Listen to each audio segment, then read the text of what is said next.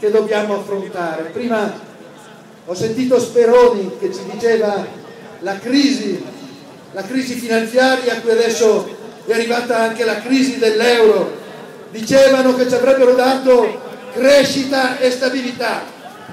La crescita non si è vista e adesso anche l'euro e l'Europa rischia di andare a carte 48.